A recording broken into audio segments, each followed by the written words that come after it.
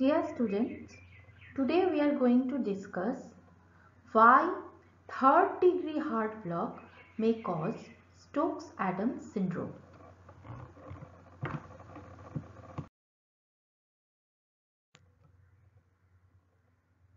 When conduction from atria to the ventricle is completely interrupted, that condition is known as the third degree heart block or the complete heart block. Now in complete heart block what happens? The ventricles beat at a lower rate and this is independent of atria.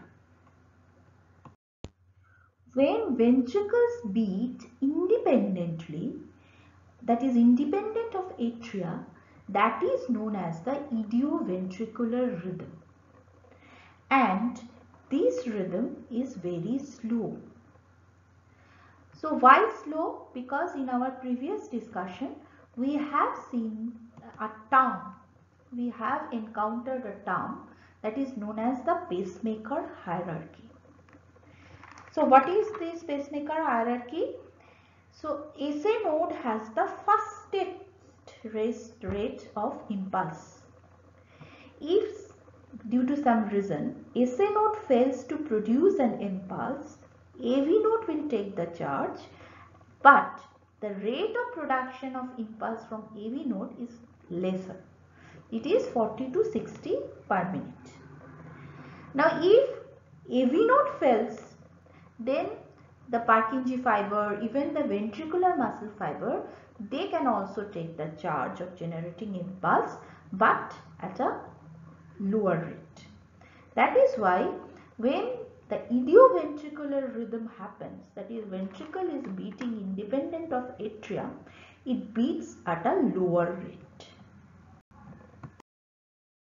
Now, complete heart block or third degree heart block may be at two level. It may be at the level of AV node.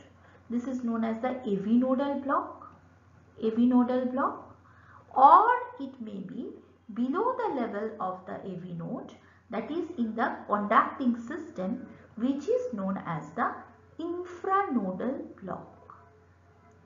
Now in case of AV nodal block what happens?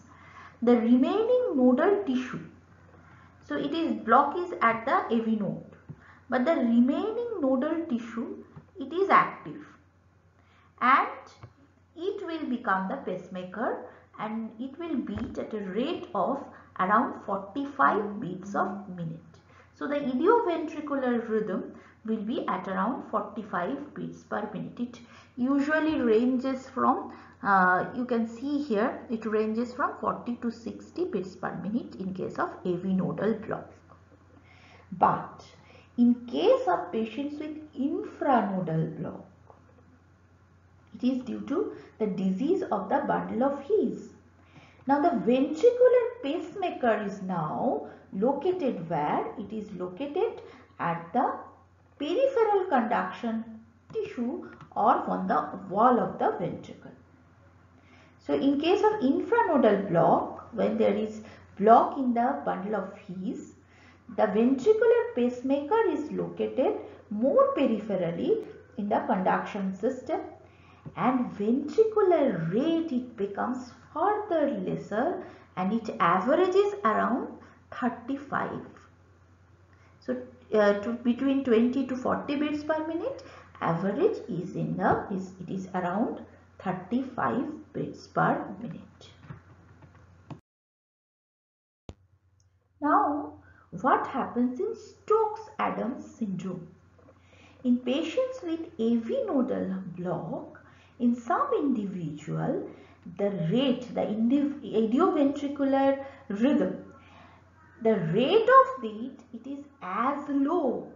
It may be as low as 15 beats per minute. It may be as low as 15 beats per minute and in such individuals there may also be a period of asystole lasting for a minute or more.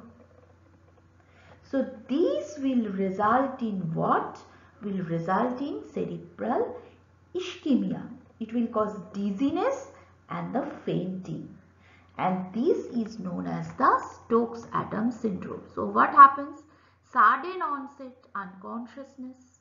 There will be disappearance of pulse, no heart sounds are audible, patient is pale and if the uh, patient is standing, the patient will fall down which may also cause some resultant injury and if the attack is sufficiently prolonged, respiration may become labored.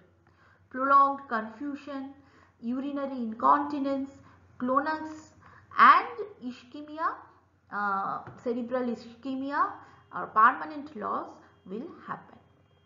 So usually the patient, most of the cases it regains consciousness rapidly.